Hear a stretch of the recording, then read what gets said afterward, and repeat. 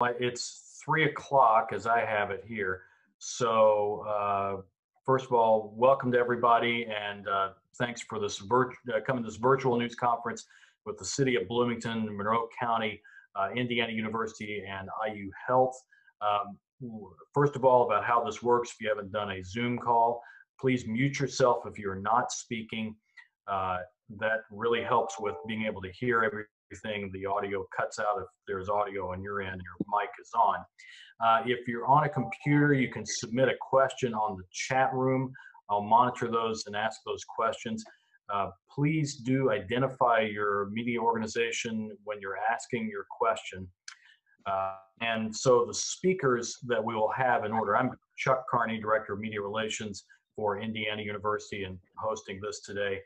Uh, our speakers are Ben Hunter, who's the Associate Vice President for Public Safety and Institutional Assurance at Indiana University, Monroe County Commissioner Julie Thomas, uh, Dr. Thomas Sharp, Monroe County Public Health Officer, Allison Moore, the Emergency Director Management for Monroe County, uh, Brian Shockney, President of IU Health South Central Region, and John Hamilton, the Mayor of the City of Bloomington. Uh, each speaker will deliver some brief opening remarks uh, for just a couple of minutes, and then we'll open up to your questions uh, and take those. So Ben Hunter has to get on another call at 3.30 sharp, so we're going to go to him first to make some opening remarks about the situation and how we are working together from the IU standpoint. Thank you, Chuck, uh, and I appreciate uh, the invite and being on the call. So uh, IU at IU, we began our response uh, late January. We were uh, obviously tipped off mid January and seeing what was going on in China. We have a lot of international students, so we started monitoring uh, China quite closely, started working with our uh, overseas study and our international services uh, faculty and staff. And uh, our response at that time was containment like the rest of the world. we were working to get students back some cases uh, assisting them with academic issues and, uh, and, and travel issues. Uh, so we were able to get our operations going. I think we're like in day 60 of our emergency operations stance. Uh, so our staff has been working very long hours. Uh, uh, and as this then started going over into Italy and Spain, where we have a large population of students as well, we were closely monitoring it. And as we started seeing cases pop up in the United States, uh, we've had our, our actual EOC open for, I think, about four weeks now. Uh, and so we have that uh, staffed uh, uh, frequently uh, every day except for Sunday, where we try to take a little bit of a break and we've gone virtual as much as possible. Um, we've appreciated all of our partners, you know, and, and throughout this whole process. Our, our guiding principle from day one is to rely on the CDC guidance when available. Uh, we were pretty aggressive in putting in some travel restrictions for, for IU. Uh, we were uh, working with our Big Ten partners and uh, had set up uh, what we call incident management teams with them. Uh, we finally then, a few weeks ago, established a statewide incident management team with all institutions of higher ed to kind of see what, what each institution was planning and preparing for. Um, that allowed us to feed up information to our executive policy group, which President McRobbie leads. Uh, that group meets daily. Uh, we continue to, to monitor it and put out policies affecting the IU system and making sure that we're working with both internal and external partners uh, constantly throughout this process. Uh, it's been uh, a, a, long process for us, and we know that it's uh, you know obviously going to get worse here in the United States. And so we've been preparing the, the best we can in terms of our supply lines, uh, making sure we have uh, adequate policies in place. Um, obviously, it's you know most of you know that um, essentially we've asked uh, we've asked our students not to return. Uh, we're we're moved to distance ed kind of teaching in terms of virtual or online teaching, um, and the faculty have been great uh, with that response um, from from day one. Uh, we've not had any resistance in uh, our overall stance and our response.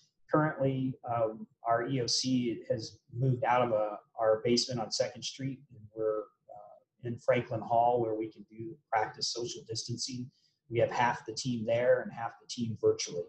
Um, so we are requiring medical checks prior to coming in uh, to the EOC, and we continue to operate with uh, the local health departments in all of the jurisdictions that IU campuses are located.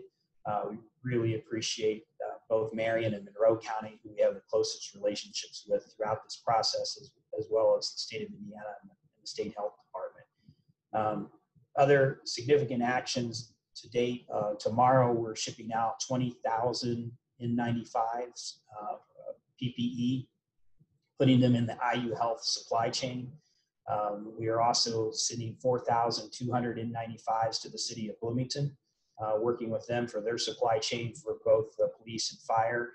Uh, we've been able to uh, continue to work with our uh, purchasing and, uh, over the last 30 or so days um, to make sure that we can uh, get what we can and also send out what we can because we know a surge is coming here in Indiana. Uh, so again, those are the current stances that we have in place, and I'm happy to answer any questions about IU's response and just tell you that how grateful we are to our city and county partners throughout Indiana, the state, and especially our local health departments who have been just tremendous to work with. Thanks, Ben. Uh, Julie Thomas. Hi, everyone. I'm Julie Thomas, Monroe County Commissioner. We're going to be hearing soon from Dr. Sharp and Penny Caudill from the Monroe County Health Department, uh, and also from Allison Moore, the Monroe County Emergency Management Director, in just a moment. Um, I'm here on behalf of the Board of Commissioners. Uh, both Lee Jones and Penny Githens are also uh, on this call. Uh, we did make an emergency, a local emergency declaration last week. It seems like it was a year ago as everything seems to move so quickly, but it was just last week. Uh, this was extended through the end of March, and it is likely to be extended obviously beyond that time. Most county buildings are closed to the public, and our parks are also closed, although our trails are open. Um, please practice social distancing. Uh, this step was taken last week to prevent the spread of this virus, to protect our community, and to ensure that our employees are also safe. We instituted our continuity of government plan. Monroe County remains open for business, but business looks a little bit different. Uh, even with the governor's order, uh, staff are working remotely. Departments have minimal in-person staffing. If you need assistance from a Monroe County office, please go to our website, co.monroe.in.us to see what uh, each department has in terms of their plans for continuity of, of operations. Uh, we do remain open for business. We uh, have provided some funding for United Way Coalition and also for the Hoosier Hills Food Bank for an emergency food purchase. And lastly, we have a request pending before the Food and Beverage Tax Advisory Commission to release uh, already collected food and beverage tax revenue to allow uh, Monroe County, outside of the city of Bloomington, Monroe County businesses, small businesses, uh, to get some relief. Um, we know that times are really tight, and especially um, uh, for our small businesses and their employees. Uh, so we encourage small business owners who do anything to support tourism, who um, operate outside of the city of Bloomington but inside Monroe County to complete the survey. That is right, uh, that information is available right on our homepage, uh, co.monroe.in.us. It's under breaking news. So everyone, please stay home as much as possible to protect yourself and others in our community. We are all in this together. Monroe County government has pledged to continue to serve our community in the best way possible. Thank you. Okay, uh, Dr. Sharp.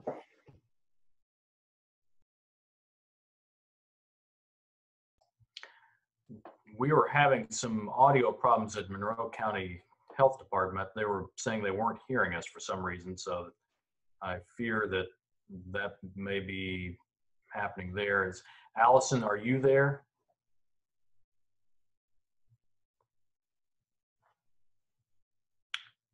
Okay, uh, let's go on to Brian and hopefully they'll be able to reconnect in.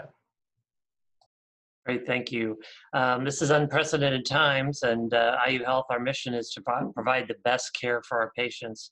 Uh, first of all, I want to recognize our teams and our of caregivers who are doing an outstanding job and working with public health. Um, as was said before, we have a terrific uh, public health department here in uh, Monroe County, and we also work with the counties uh, that surround us as well. Um, our goal here is to, to limit the spread of COVID-19 and create a safe environment for our healthcare workers and be good stewards of the resources because we know that personal protective equipment, which we call PPE, is uh, in uh, a precious resource for our supplies. Uh, our healthcare teams have extensive experience in treating communicable diseases. Uh, as we see continued awareness around COVID-19, we're closely working with the State Department of Health, not only at the regional level, but also at the state level. Um, and working with CDC and government organizations as well.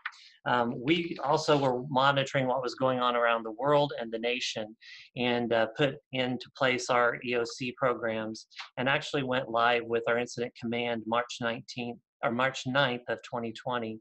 Um, that incident command is something we drill on twice a year for any disasters or any uh, pandemics. Um, it requires a 24-7, 365.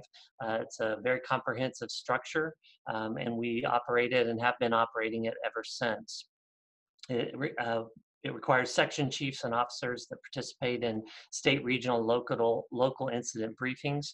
We have no less than three briefings daily and uh, look at all things related to uh, logistics, uh, surge plans, uh, equipment, all of those things that, that you can imagine.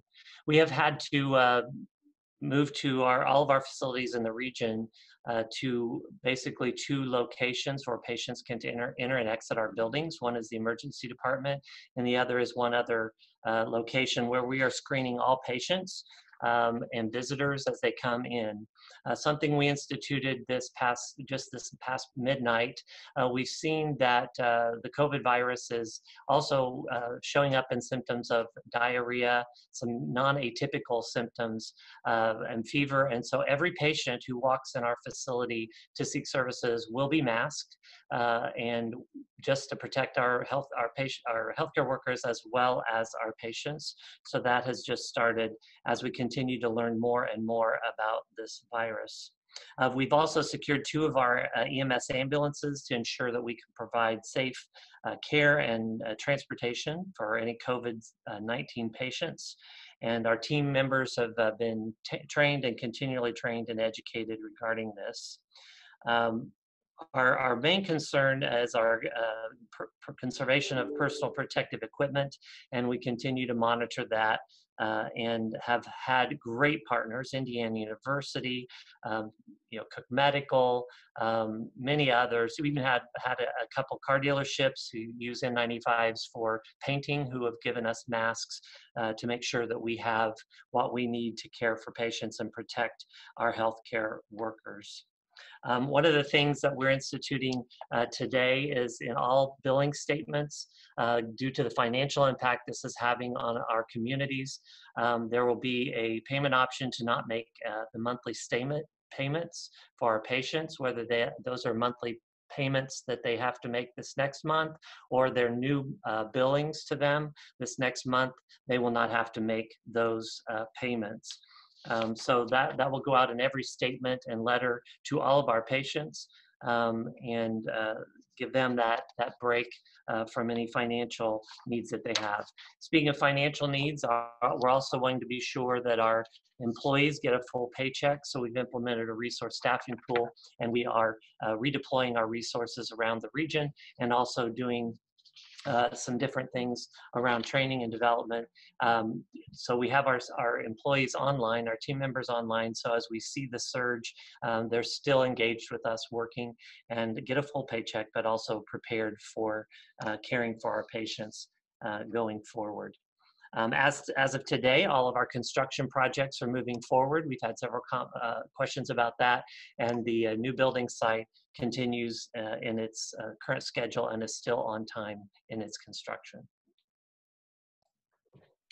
Okay, thanks, Brian. Uh, John, let's go ahead and go to you.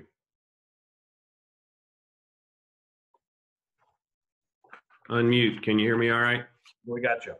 Thanks very much. Um, I want to, um, let me just Um, just listen first, uh, John Hamilton here. Thank you, everyone, for all you are doing. Um, it is an entire community effort. You've heard so much hard work described, and most of it is not described. And I just really want to appreciate that. I also want to thank IU for setting this uh, virtual press conference up.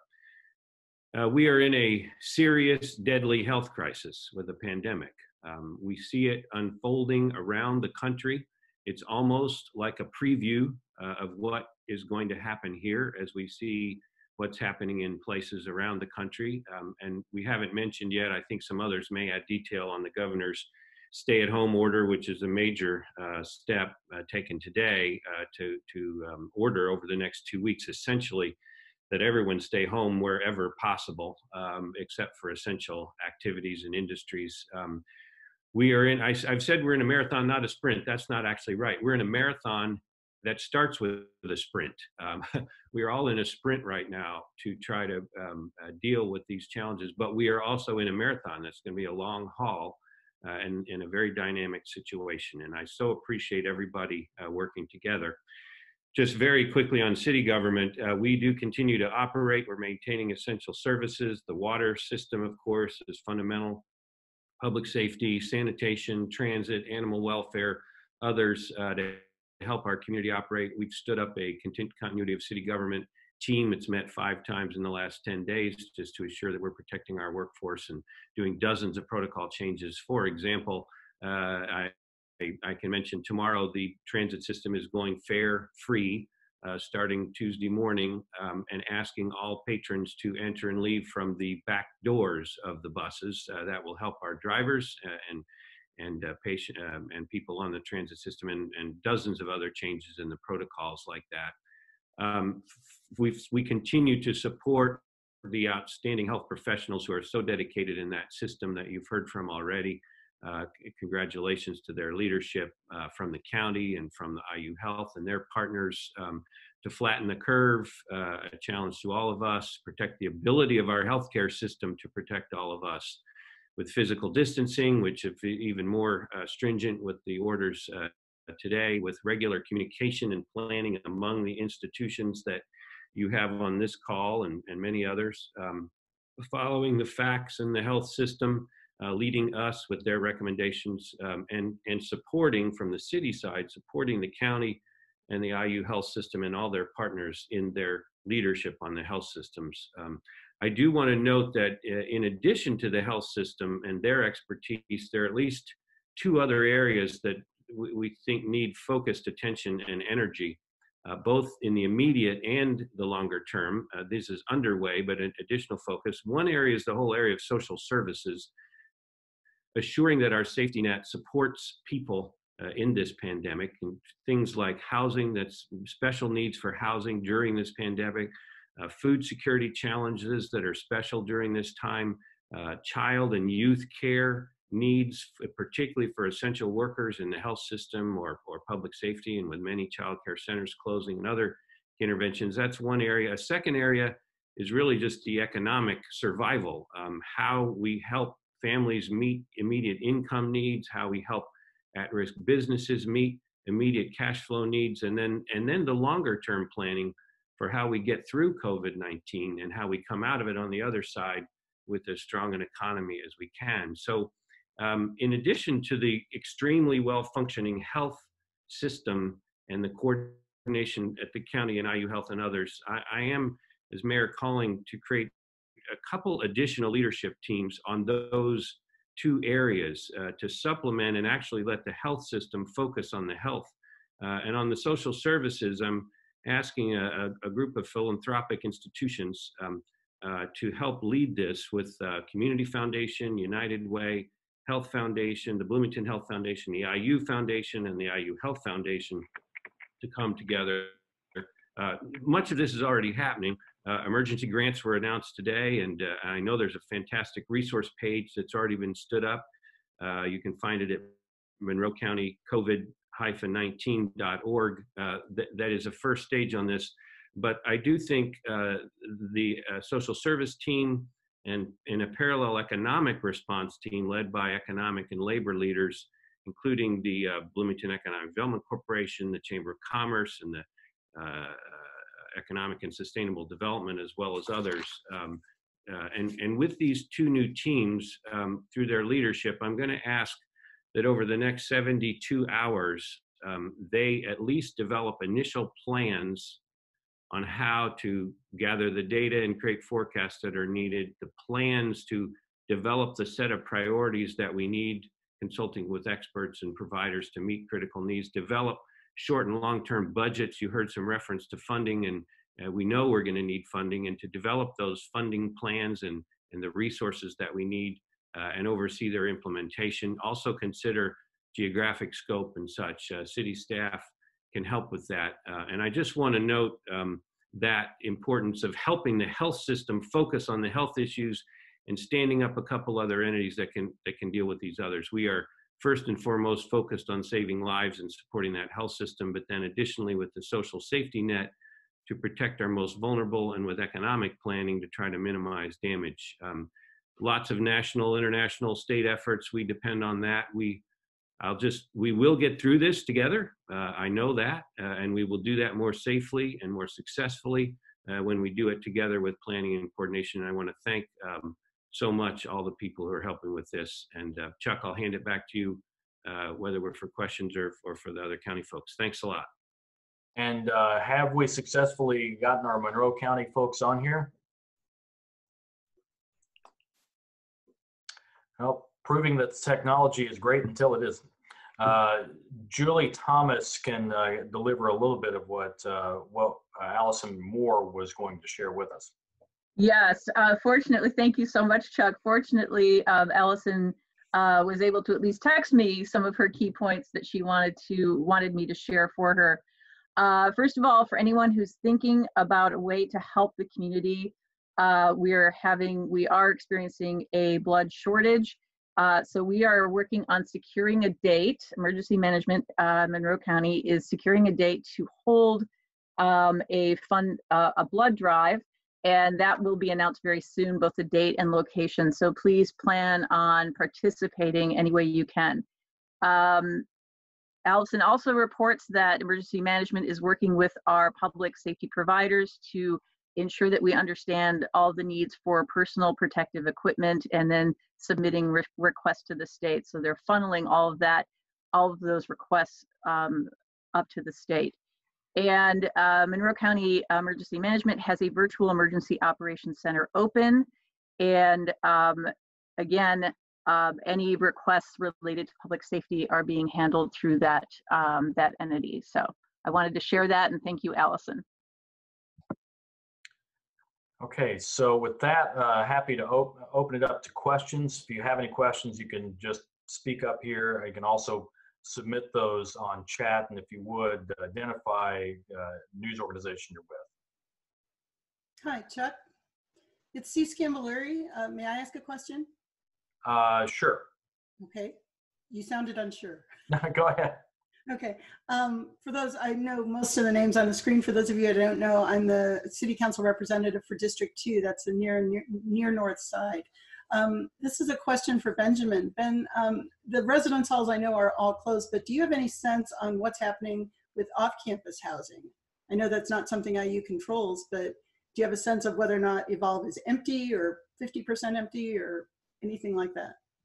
I, I do not have the sense. We have urged students to go to their permanent residence. Uh, we know that not all will do that, um, but I've not got the sense uh, in terms of the off-campus housing as to whether students are vacating that. Um, they have obviously have entered into private leases, so those are things they'll, right. probably, they'll have to negotiate uh, with the with the landlords.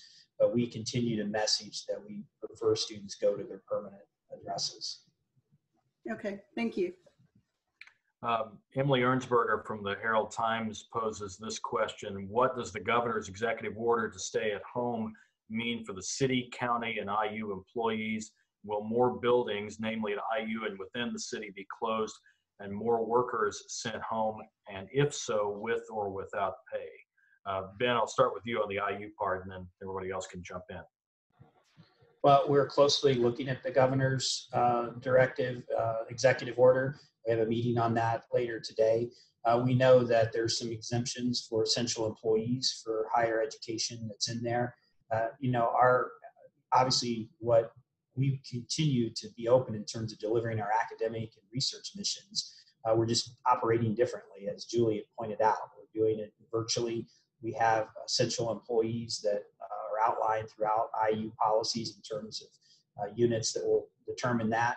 And so we'll look at that order and we'll make decisions going forth uh, that, that, that excuse me, based on that order uh, to make sure that we can continue to function as a university. Uh, but where we can, we've asked all our employees, the ones that can, to work from home. Uh, we've asked them to uh, go there, um, work from home, shelter at home, uh, work virtually as much as possible. We're going to continue to ask them to do that. Mayor Hamilton? Uh, yes, am I muted? No, you hear me? Thanks. Thank you, Emily. Thank you for the question. And I, I will say a lot of what Ben said. Uh, we are studying. I have a meeting. I think I'm late for already for with this, but to to, to look into those details. Um, it will certainly affect us to some degree. Um, we have a number of buildings closed. We have not closed City Hall. That may mean we look at that. Um, we have a number of, of course, uh, employees that we we view as essential for providing services, many of which I named. But on the other hand, we are adjusting work already. A lot of telework happening. Um, you probably know we we we uh, uh, delayed uh, apartment inspections for the safety of our people and others um, for a couple months. So that's happened. We've uh, we've changed the parking rules, given everybody two two hours of free parking. We are uh, you know, we'll have to decide things, uh, though. For example, do we keep filling potholes um, or not over this period? I don't know the answer to that. I know uh, um, we will we will try to keep uh, people engaged safely where we can, Uh, and with construction projects and others uh, to continue. Uh, and in terms of payment, again, we've looked very closely at that. We're trying to make sure, like any employer, we we support all of our employees as fully as we can responsibly. I just it's just a, a few hours in, so we have to we'll have to get you uh, more complete answers as soon as we can. Thanks. Question from Skip Daly with WCLS. I would like the mayor and the IU health director um, to both share their top three top three priorities of what they want the media message to be. And I think uh, the IU health director means you, Ben, uh, on this one. And either one of you can go first. All right, I'll go first, Ben, for this one, if that's right. So thank you, Skip, uh, for that question. I mean, I, uh, th- three messages. Um, number one, um, this is a very serious, deadly pandemic.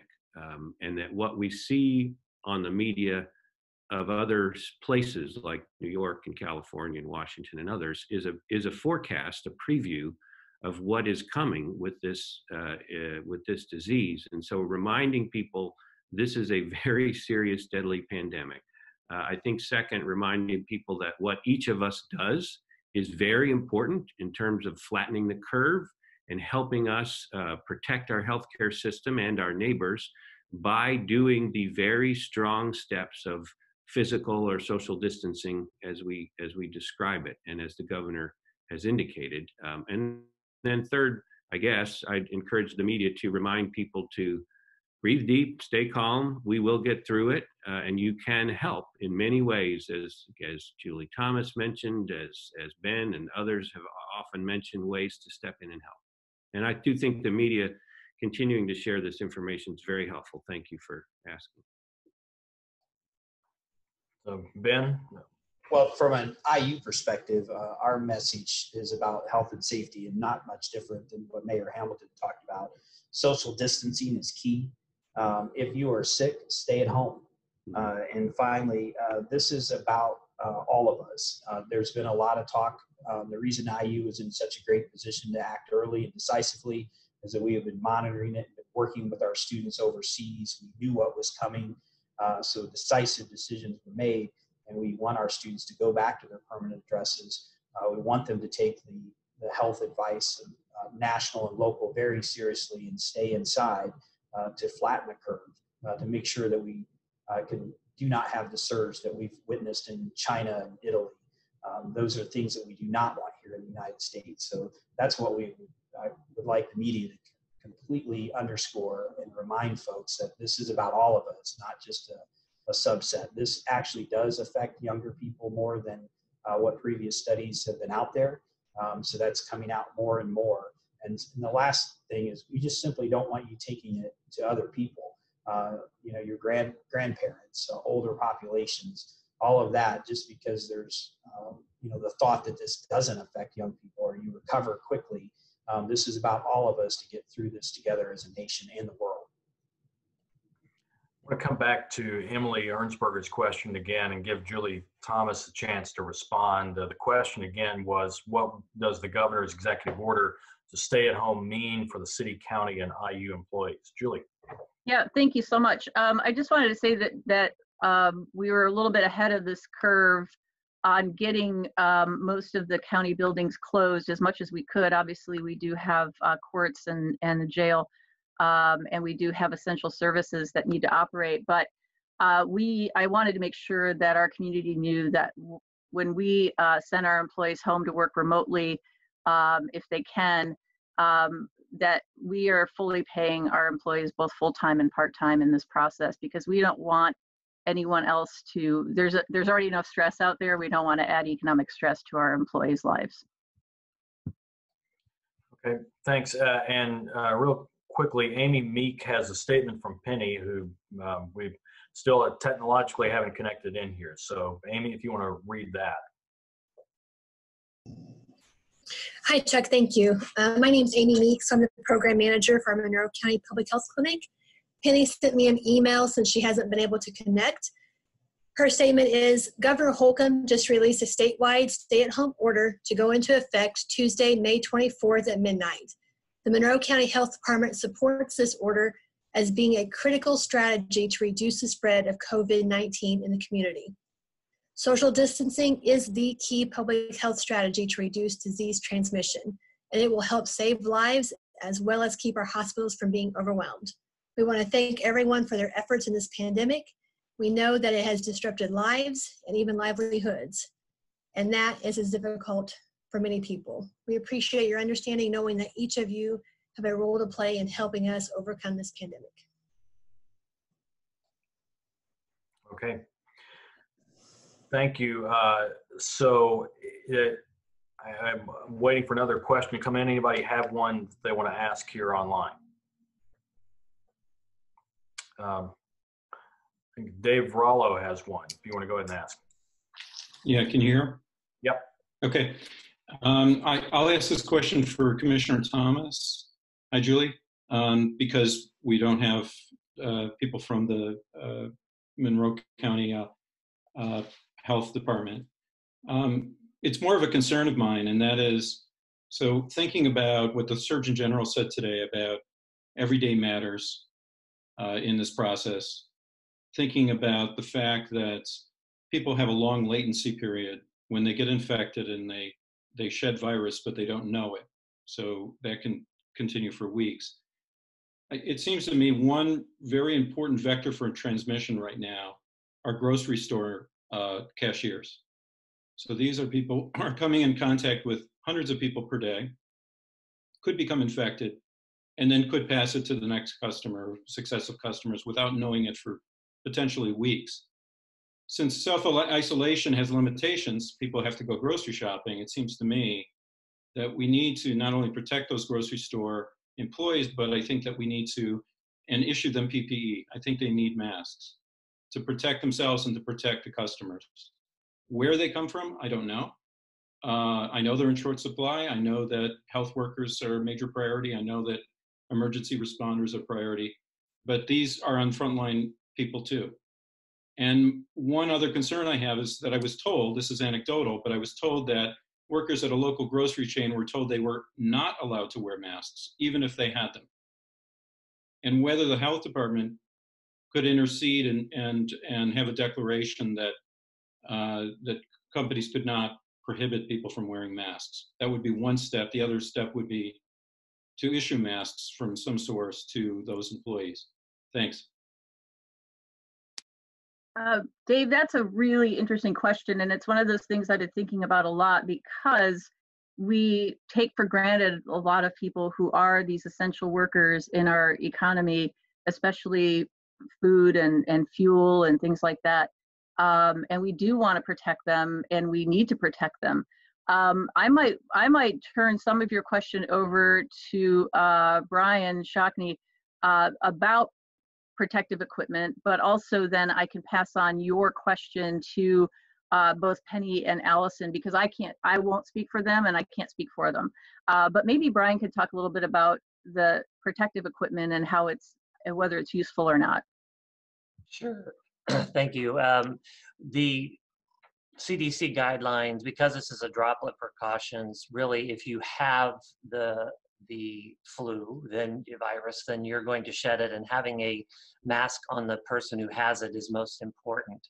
Um, the best thing we we can do is monitor as uh, we monitor our employees and and have in the in this instance with the um, the checkout people is to have them monitor daily their symptoms. So, do they have any symptoms? Do they have a temperature? How do they feel? Um, and be sure that they're not coming to work. We we daily remind our employees um, that they need to be very cognizant of how they're feeling, their temperature, um, aches, pains, whatever it is, and and take it seriously. And do not come to work um, if you feel ill in any way. And then use the virtual hub that IU Health has set up across the state of Indiana it's had over 8,000 visits to it, um, where it's free screening, and and so anyone, uh, you know, in Monroe County can call that uh, or go into that virtual hub in that app, and they can get screened, or they could, you know, call their their primary care provider. But uh, again, it's it's so important for us to monitor ourselves. Um, but until we show those symptoms, um, or we think we're we're or you know, having those symptoms. Um, the mask is is for the the patient mostly. But I, I, agree with. I mean, I sympathize and agree with your um, your thoughts there. Um, uh, but it's really about self monitoring for symptoms versus uh, wearing the mask. Could could I just ask you, Brian? What about the evidence that you remain you can remain 14 days or more asymptomatic and still be spreading the virus? I mean, you wouldn't know that you have it. You wouldn't have any symptoms. Yes, it's important to monitor symptoms, but it seems to me that you could be infected and therefore you're spreading virus to people. And there was a German study that showed that people are most infective right before they show symptoms. So this is, to me, very important that we, do, if we're going to cu- cut the transmission line, uh, we have to stop that potential for exposure from people who are potentially infected. And I would think that grocery store workers are coming in contact with literally hundreds of people per day.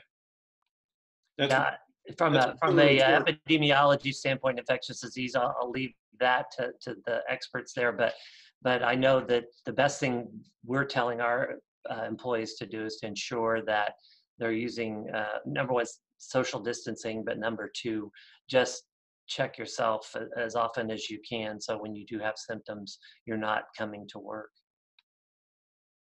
Um, I have a question uh, from Laura Lane at the HT. Uh, again, to Brian, can you respond to the issues surrounding the release of the Owen County patient on Sunday? Sure.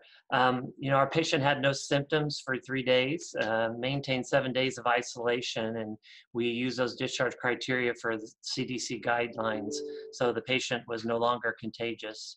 Uh, he was discharged from our hospital and left in his personal, the personal vehicle to a location agreed upon by the provider. Uh, additionally, uh, you know, due to our visitor restrictions, we check every patient um, in and out of the facility. Every patient who comes in has an escort, and every patient who leaves has an escort. Um, so that is not un unlikely and is actually required. Um, and our provider uh, instructed the patient to return to the hospital if they had any other concerns. And a follow up appointment uh, was scheduled for the patient this week with uh, the patient's primary care provider. Um, other questions coming in. Uh, what precautions are being taken at the Monroe County Jail to prevent the spread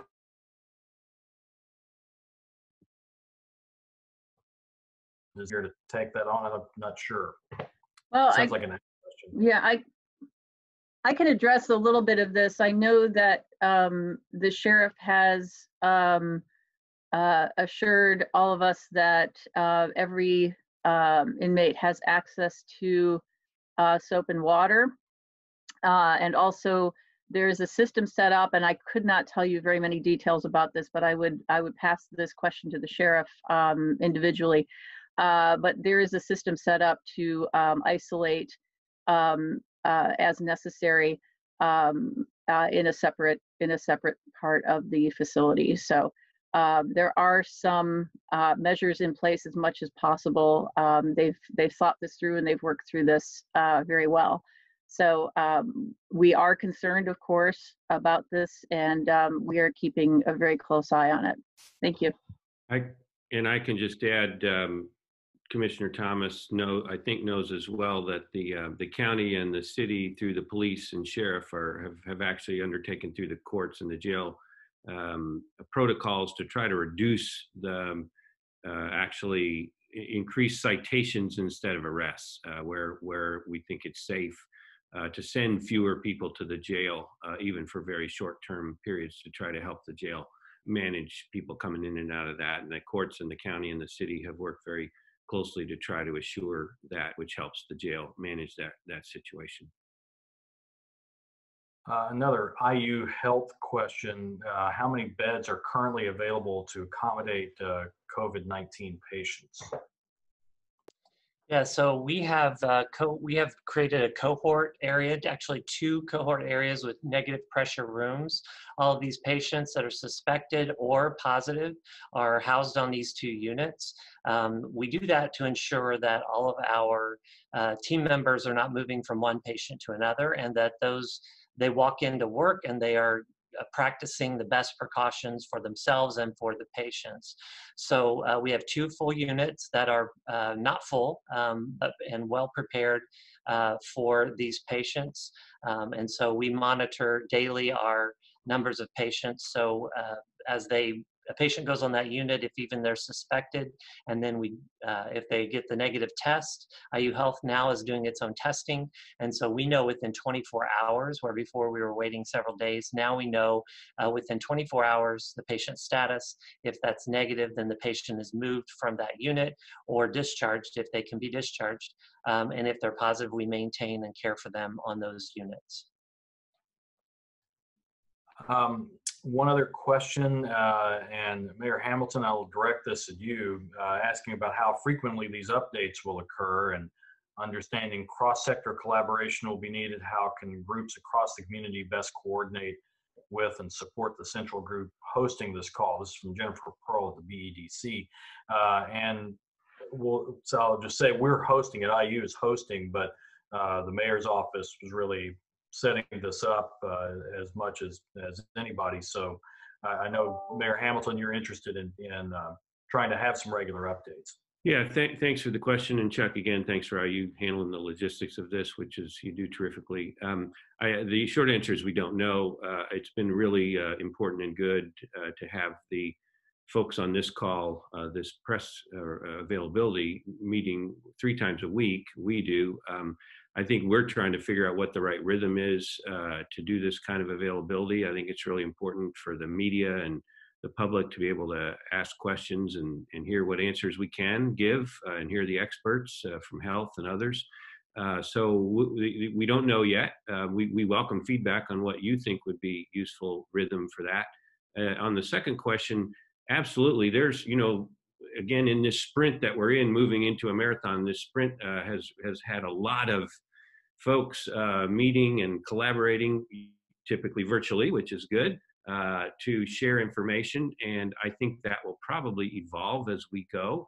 Um, uh, the cross sector uh, information sharing is is really important uh, and we'll we'll continue to evolve that too frankly. But uh, I know you, Jen, the, the, questioner, and many others are regularly talking together. Uh, I think I think we're at a point where structuring some of this, like the health system, is so well structured with county leadership, county health, IU Health, and others. Setting up a couple more that are structured a little tighter with focusing on social services and funding going to social services and focusing on economic uh, management, economic recovery, and similarly funding uh, being being um, intelligently directed into that will be helpful and all those things will need to talk together. Thanks, Mayor Hamilton. Uh, couple of other questions. Uh, a question about a link or URL to the free screening hub. Yes, we can send uh, send that out to everyone that's on this call afterwards. Actually. Okay. Uh, the and another question also for for you: uh, How many beds in a unit? So those units vary, um, and we have so we have two full units. Um, those are depending on if we are putting two patients in a room or one patient in a room. So to give you an exact number, for example, if a husband and wife, we can put them in the same room together.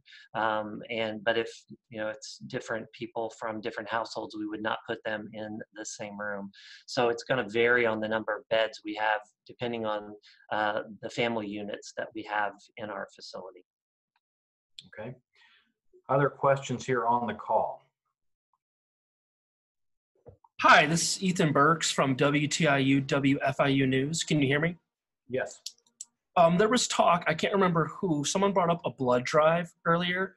Uh, I'm just wondering how that would work logistically, um, given uh, that we're trying to social distance and stop the spread of the coronavirus. So, how exactly would a blood drive be set up? Because it would be quite different, I imagine, than normal blood drive.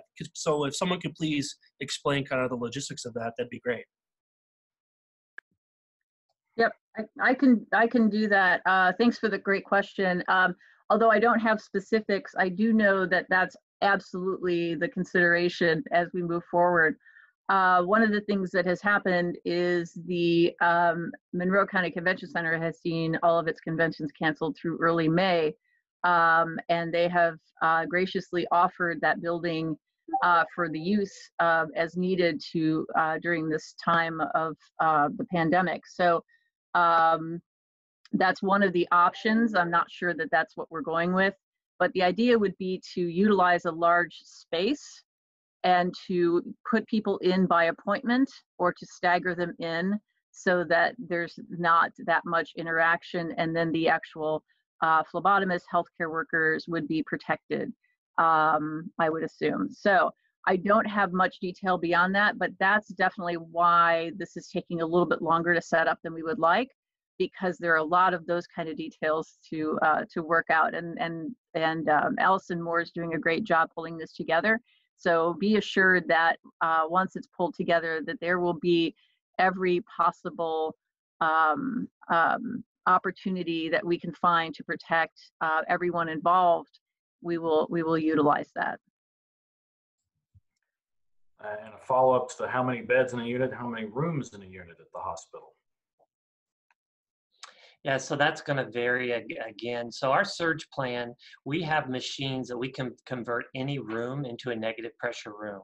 So after we, let's say we would fill, if if uh, we predicted a, a, a you know, what's that, that worst case scenario, best case scenario, most likely, um, and we if if we have to add rooms, we have machines on hand that we can convert any room into a negative pressure room. So really, it's kind of an unlimited number of rooms that we can make uh, in our hospital negative pressure. We already had some that were negative pressured that could, because we always have those, all of our ICU rooms and other rooms uh, in the hospital. But we, in, in preparation for this, took two units and said, you know, let's make those two units negative pressure um, and we've got machines actually on standby to increase those numbers throughout the hospital. So we can flex up and down those numbers of rooms for COVID positive patients uh, at, at the turn of a switch with our maintenance team. Okay, uh, other questions on the call?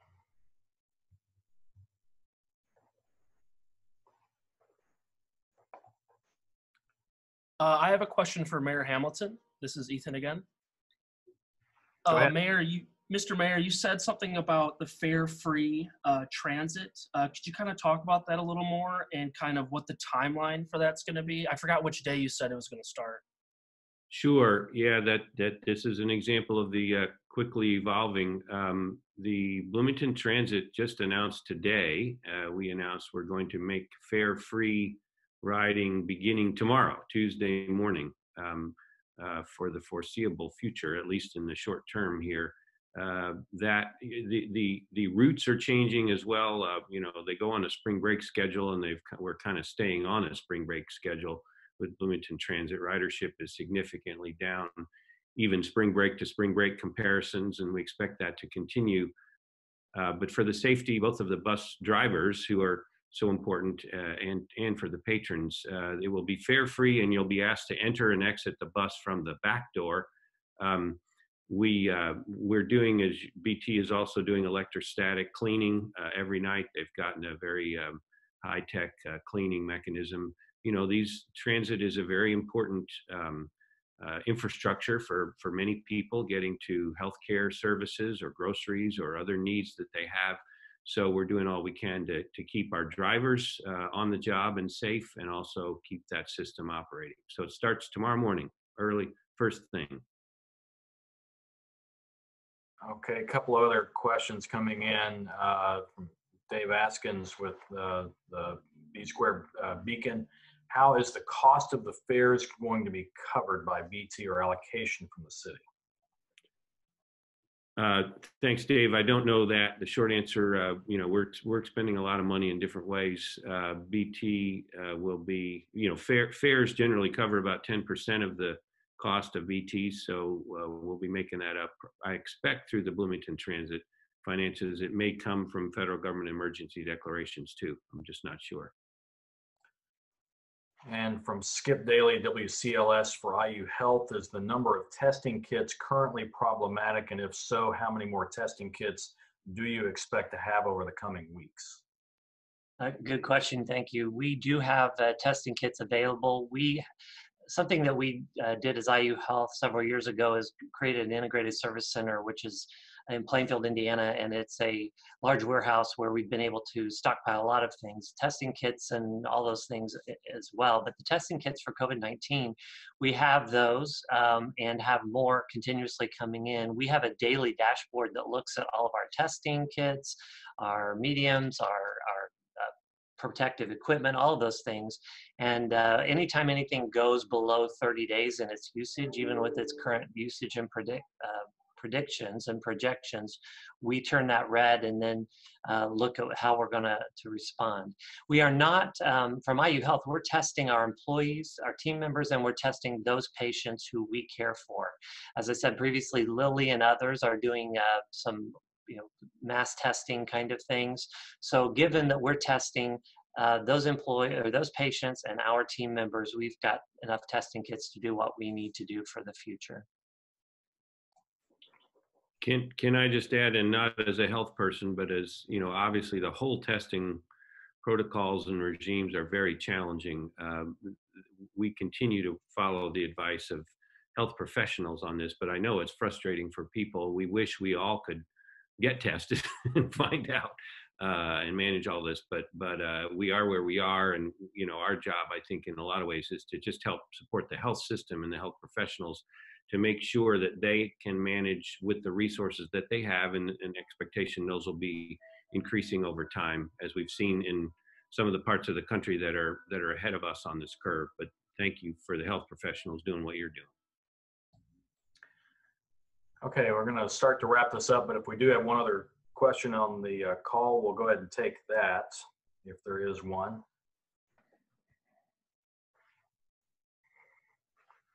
Okay, seeing none, uh, we will wrap it up. Thanks to everybody for participating. And uh, as we said, we'll may have some more of these updates to come as the situation continues. Thanks for your time.